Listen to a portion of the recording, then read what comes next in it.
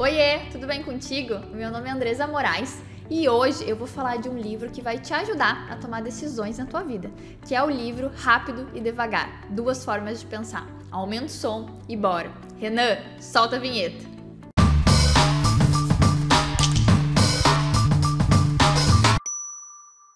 O livro explora como a nossa tomada de decisão ela é influenciada pelas nossas emoções, pelos nossos preconceitos e vieses cognitivos. E por muitas vezes a gente nem percebe. Sendo assim, esse livro é fundamental para a gente entender como é que a gente pode agir com mais racionalidade e acabar fugindo das falácias. O autor do livro, Daniel, ele é psicólogo e economista comportamental e em 2002 ele recebeu o Prêmio Nobel de Economia.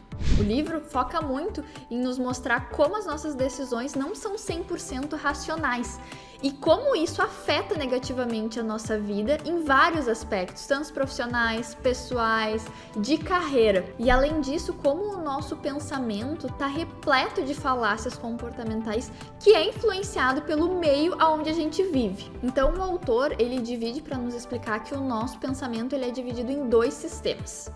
Sistema 1. Ele é rápido, automático e intuitivo, podendo levar a erros de julgamento. Sistema 2. É lento, deliberativo e racional. Usamos para tomar decisões mais complexas.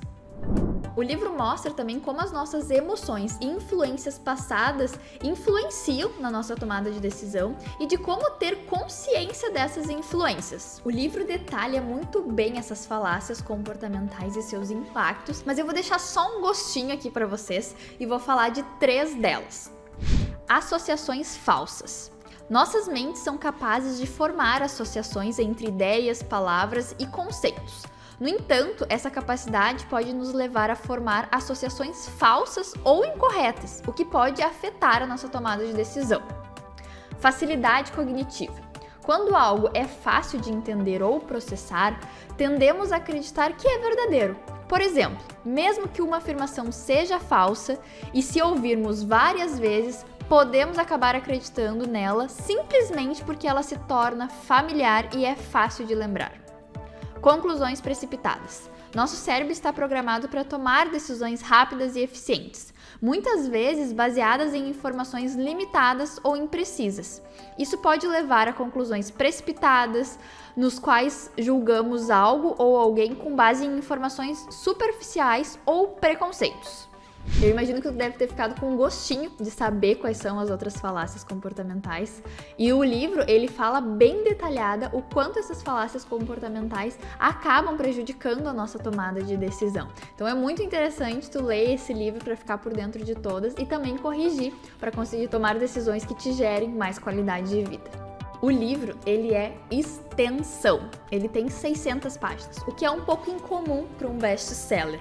E por mais que ele traga conceitos difíceis de entender, é falado de uma forma leve, que qualquer pessoa possa entender. Ele é acessível para qualquer pessoa e tu não precisa ter formação em psicologia ou economia para entender o livro. Em geral, o livro ele é uma ferramenta valiosa para quem quer entender como funciona a mente e também conseguir tomar decisões mais conscientes e adequadas para o seu estilo de vida. Tu já leu esse livro? Me conta aqui nos comentários o que achou dele, se tem vontade de ler. Eu espero que tu tenha gostado do resumo. Se tu não leu ainda, eu espero que tu tenha ficado com vontade de ler ele.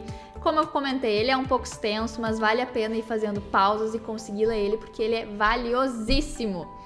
Um beijo e até a próxima. Ah, eu já tava me esquecendo. Não esquece de deixar o teu like, de compartilhar com os teus amigos e na descrição do vídeo tem o link lá da nossa página da Amazon onde tu consegue adquirir ele. Um beijo e até a próxima.